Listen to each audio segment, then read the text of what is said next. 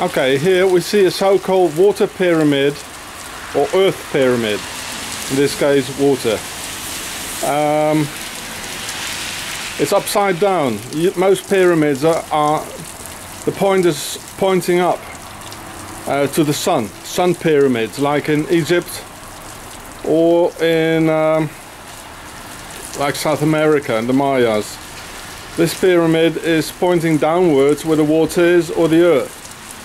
Um, there are really many of these types of pyramids that are buried under the under the earth all over the globe. I can't tell you why for the moment. The time isn't ready yet. Uh, in the north of, um, in the south of France, eight kilometers north of Nice, there's a pyramid as well, which is almost um, entirely buried under the ground. Uh, but it's upwards, uh, next to a little village called uh, Xi'an. Of course, we know we've got the four elements water, fire, earth, and uh, air. And uh, if we look at the hexagram, uh, it's also a pyramid. One is pointed up and one is pointed down. And it's not only in the hexagram, which is very important for the New World Order and black magic and the Templars and all that.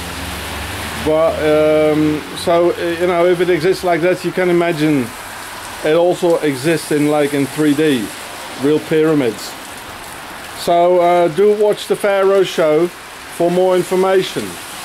Schauen Sie die Pharaon Show für mehr Informationen.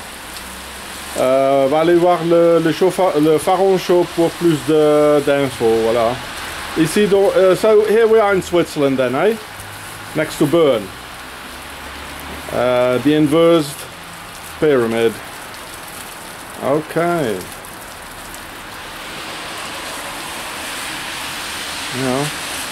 There we can see these criminals there. This is hiding there. Yeah.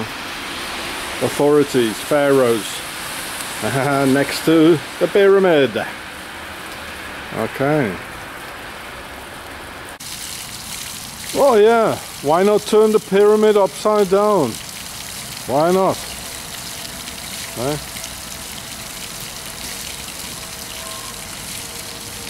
In Switzerland.